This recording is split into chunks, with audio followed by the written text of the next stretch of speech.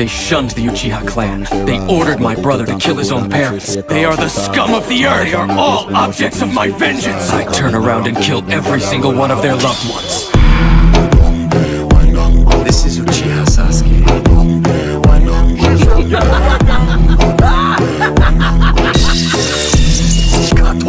Go catch your